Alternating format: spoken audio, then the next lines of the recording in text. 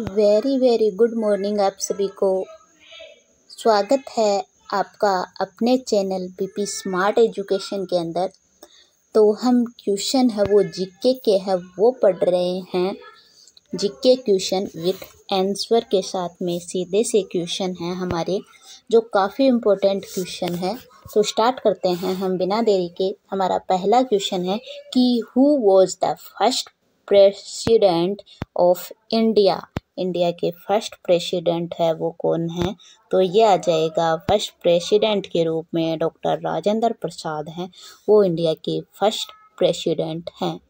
हमारा दूसरा क्वेश्चन है कि which planet is known as the red planet red planet है। यानी ऐसा कौन सा प्लेनेट है जिसे रेड प्लेनेट के नाम से है, वो जाना जाता है। तो जो मंगल ग्रह है, मार्स ग्रह है, उसको रेड प्लेनेट के नाम से है, वो जाना जाता है। हमारा अगला क्वेश्चन है कि who wrote the famous play Romeo and Juliet ये किसके द्वारा है वो? ये फ़ेमस प्ले है, वो लिखा गया। तो इसका क्वेश्चन आंसर आ जाएगा विलियम जो शेक्सपियर हैं इंग्लिश के। उनके द्वारा है, ये फ़ेमस प्ले है, वो लिखा गया। अगला क्वेश्चन है हमारा कि what is the capital of France यानी कि जो फ्रांस की जो राजधानी है, वो कौन सी है? तो फ्रांस की राजधानी है, वो पेरिस है, वो है। तो अगला क्वेश्चन है, वो हम शुरू करते हैं।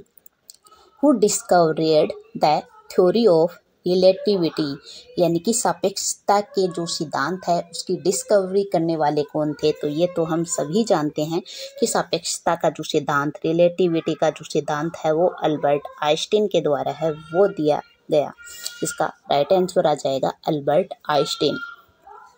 हमारा अगला क्वेश्चन है कि which gas do plants absorbed from the atmosphere during photosynthesis यानी जो फोटोसिंथेसिस की जो क्रिया है वो हो, तो होती है हमें पता ही है।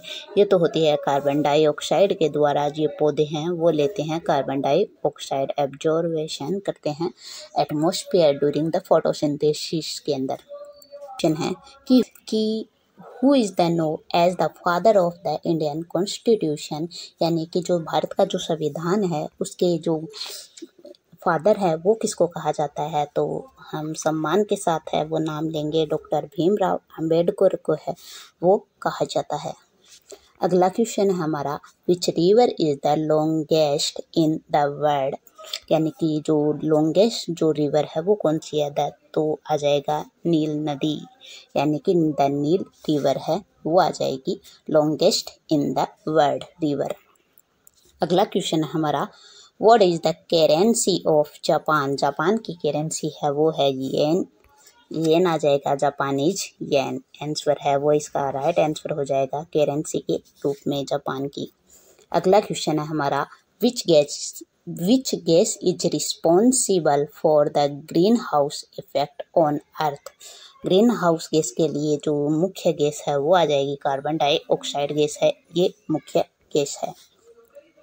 अगला क्वेश्चन हमारा कि in which year did Christopher Columbus discover America Christopher Columbus ने है वो अमेरिका की डिस्कवरी है, वो कौन से सन के अंदर की थी? तो जो हमें ईयर पूछा है तो हम बताएँगे कि फोर्ट जो चौदह सौ बानवे के अंदर है, वो इसकी डिस्कवरी है, वो की गई थी। अगला क्वेश्चन है हमारा कि who is painted the Mona Lisa Mona Lisa जो मोनालिसा जो पेंटिंग है वो की गई थी लियोनार्डो डा विंकी ने।